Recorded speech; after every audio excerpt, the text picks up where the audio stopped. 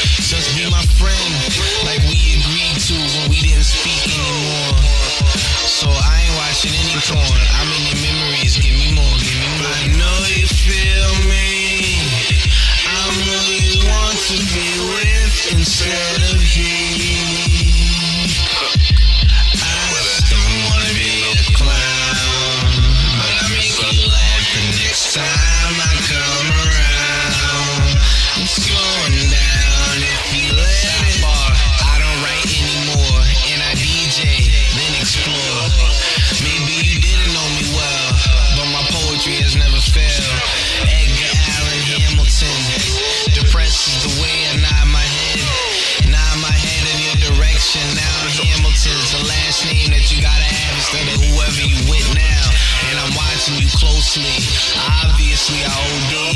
You tried to switch carriers. Embarrassing Harriet, where you carry her at?